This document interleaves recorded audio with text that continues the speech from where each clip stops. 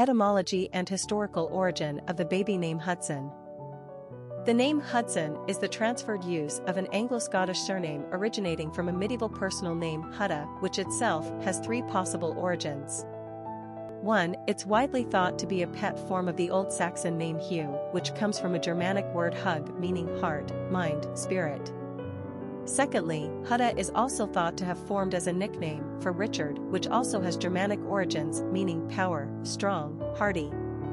Lastly, it could be derived from the Old English personal name Hūda with uncertain origin, but which gave its name to places like Huddington in Worcestershire. The surname dates back to the 13th century in Scotland and England. Henry Hudson, 1580 to 1611, is probably the most famous of the Hudson name bearers. He is credited with discovering the Northwest Passage and Hudson Bay in Canada. The Hudson River in New York is also named after Henry Hudson. Personality of the boy named Hudson. The number 9 personality represents the completion or ending of the cycle and a need for perfection.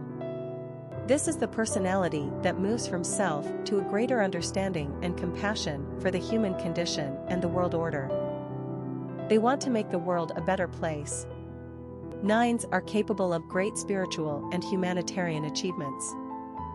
They are courageous and fearless, able to fight great battles on behalf of worthy causes. These personalities will not tolerate injustice. They are compassionate people with a strong sensitivity to others. They are able to both educate and inspire. Friendships and relationships are the lifeblood to the nine, and they place a high value on love and affection.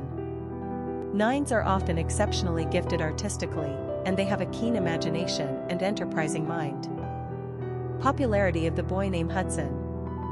As a forename, Hudson dates back over 100 years on the American popularity charts, although between 1880 and 1920 its usage was extremely low to almost non-existent.